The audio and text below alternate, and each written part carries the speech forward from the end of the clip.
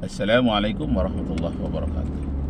Bapak Ibu saudara-saudara sekalian, seni adalah fitrah manusia. Jadi orang memuji Nabi Muhammad SAW dengan salawat disenikan. Apa salahnya? Karena itu mahmudah bukan mazmumah.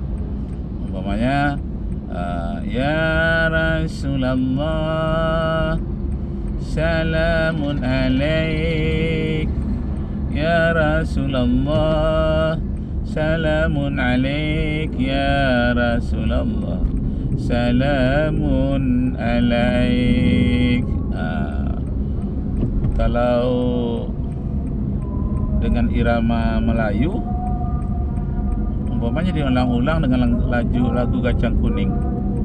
Salamun alaik. Hey salamun alaik. Ah lancang kuning. Lancang kuning lancang kuning belayar malam. Jadi tidak belajar di situ? Pasar itu? Salamun alaik Ya Rasulullah Ya Rasulullah. Salamun alaik Ya Rasulullah Ya Rasulullah. Salamun alaik derereng derereng Misalnya Jadi dengan irama apa pun sesuai dengan fitrah yang terdapat kebiasaan lingkungan adat yang terdapat pada suatu daerah. Nah, ajaran Islam itu tidak bertentangan dengan adat. Inilah cara yang dilakukan oleh Wali Songo. Bahkan pewayangan pun tak pernah dituduhnya bid'ah. Tapi wayang itu digunakannya untuk mengumpulkan orang namanya skatenan, kesenian dan nyanyian. Walaupun musiknya gamelan, nyanyiannya mungkin nyanyian Jawa ah itu dimanfaatkan oleh siapa tadi? Oleh Wali Songo.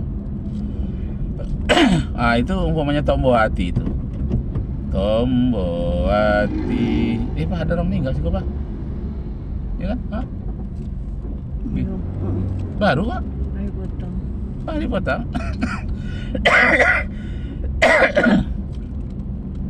Tombo hati iku limo perkara nah, obat hati itu ada lima.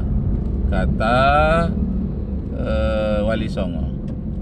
Kaping pisan moco Quran lan maknane. Yang pertama bacalah Al-Quran dengan maknanya. Eh pak. Pak makan di luar gitu. Ya. Allah. ah. Kaping pisan. Maca Quran dan maknane. Kaping pindo Siko. salat wingi. Nah, orang baru azan sekarang ada sholat biarlah kita dari situ sedikit tombo hati iku limo perkarane kaping pisan maca Quran lan maknane. Kaping pindo salat wingi lakonono. Kaping tilu. Wong kang soleh la wong kang soleh. Apa itu? Eh, yang ketiga orang yang soleh dijadikan sebagai temannya. Kaping pin kaping tilu. Wong kang soleh. Ah lupa. Orang yang soleh sebagai teman ah ah, kaping tilu wong kang soleh kumpulono artinya bertemanlah dengan orang yang soleh jadi tidak diharamkan musik itu oleh Wali Songo. Tidak ha- diharamkan pewayangan. Tidak diharamkan sandiwara. Nyanyian musik gamelan tidak diharamkan. Bahkan dimanfaatkan untuk dakwah nah tahu-tahu datang orang modern khawarij modern sekarang ini dikafirkan ya orang semua. Orang yang sudah Islam dikafirkan. Kalau wali songo orang kafir yang diislamkan. Terbalik. Orang khawarij sekarang orang Islam dikafirkannya. Kalau wali songo orang kafir diislamkannya. Masya Allah, Masya Allah. Bagaimana mengislamkan orang-orang kafir?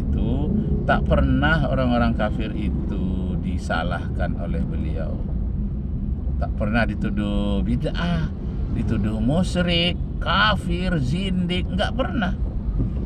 Ah, beliau jalani dengan baik-baik sehingga Islam masuk ke Nusantara dengan damai. Tidak ada kemarahan apa pun, tidak ada peperangan apa pun. Kenapa? Karena bijak sekali sesuai dengan ayat Al-Qur'an. Ud'u ila sabili rabbika bil hikmati wal mau'izatil hasanah wajadilhum billati hiya ahsan ajaklah manusia ke dalam Islam dengan hikmah nasihat yang baik. Bil hikmah dengan banyak hikmah wal mau'izatil hasanah nasihat yang baik. Wajadil hum billati hiya ahsan. Dan berdebatlah berdialoglah dengan mereka dengan cara yang terbaik. Masih oke seperti itu agak jauh sedikit nah jadi kesenian itu jangan dihapus. Diarahkan kepada yang positif. Jadi nyanyian itu fitrah fitrah manusia. Nah yang terbaru saya mendapatkan nyanyian untuk memuji Ibnu bin Bas. Ibnu Bas ada maulidnya yang diperingati di Arab Saudi dengan membakar buhur jadi buhur itu dibakar lalu dibacakan riwayat hidupnya. Acaranya hampir sama dengan acara maulid. Yang pertama dibuka dengan baca Al-Quran. Yang kedua sambutan dari panitia. Yang ketiga sambutan dari murid-muridnya. Nah yang keempat membacakan kebaikan-kebaikan yang pernah dilakukan oleh Ibnu bin Bas dan fatwa-fatwanya yang sudah pernah dia bukukan. Nah ini disampaikan. Jadi tak bisa ditutupi. Awalnya dulu murid-murid bin Bas itu haram katanya nyanyi. Anti nyanyian. Tapi ujung-ujungnya ketika memperingati Maulid bin Bas eh nyanyian itu keluar.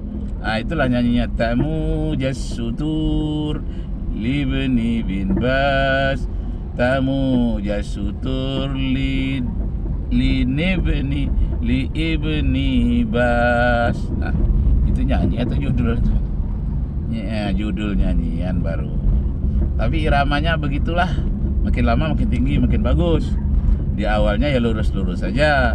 Tanyu tamu jasutur tamu jasutur li ibni bas. Nah nanti setelah ini akan saya baca agak lebih lengkap. Kalau perlu saya putarkan videonya. Videonya ini pernah diputar oleh Sony Uye. Uh, Sani Uye juga Ustadz Gus. Sani Uye juga pernah diputar oleh Gus Ah Avandi nah, itu itu bagus. Menambah wawasan saya. Nah juga wawasan kita semua umat Islam. Ternyata ada maulidnya Ibnu bin Bas. Masya Allah pakai nyanyian. Cuma nyanyiannya tidak memakai musik. Masya Allah Masya Allah. Nah, jadi Bapak Ibu, saudara-saudara sekalian, dapat kita simpulkan bahwa yang maha seni itu adalah Allah Subhanahu wa taala. Cobalah lihat apa yang diciptakan Allah itu yang nggak ada seninya. Ular saja yang berbisa, ada yang tidak berbisa. Itu bukan main indah. warna-warnanya yang indah kicauan suara burung juga ada seninya indah kemudian bulu-bulu burung merak yang ditata indah suaranya indah. Burung perkutut suaranya indah. Nah banyak keindahan seni. Suara itu seni. Sampai orang berani membeli burung perkutut itu sampai ratusan juta. Kenapa? Karena suaranya mengandung seni yang indah bagi orang penggemarnya. Jadi indah. Nah jadi keindahan ini tidak bisa ditutupi. Nah karena itu Bapak Ibu Saudara sekalian janganlah menjadi anti seni.